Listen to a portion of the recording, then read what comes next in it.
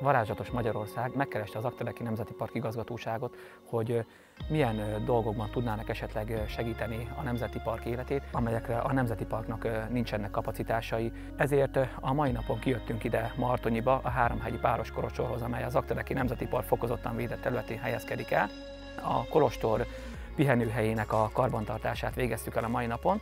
Ez abból állt, hogy kitisztítottuk a mm, forrást és környezetét, valamint padokat cseréltünk, a pihenőhelyen. Azt gondolom, hogy ezek a rendezvények nagyon jók, mert hasonló érdeklődésű emberek találkoznak, amiből aztán elindulhatnak kisebb uh, csoportos egyéni akciók. Természetfotósként azért próbálom óvni a természetet, nyilván ember vagyok és élek, tehát ugyanakkor nem is mindig sikerül, de, de törekszem arra, hogy mondjuk látok egy bogarat, akkor, akkor odébb teszem, vagy, vagy mentem a katicákat, vagy akár a pókokat is otthon. Nem pusztítok, hogyha nem muszáj amit mi kapunk a természettől, azt valamilyen szinten viszonyoznunk kéne. Ez az érzés, ami, ami megfogja az embert, szerintem, hogyha kijön egy ilyen tájra, akkor ezt, ezt nem lehet elmagyarázni, ezt meg kell élni. És hogyha benne vagy, akkor pedig szerintem elszakadni már nem tudsz tőle. Ha mindenki azt az icipicit, amit érez, meg amit, amit jó szándéka szerint hozzá tud tenni, ezekhez a kezdeményezésekhez, ezekhez a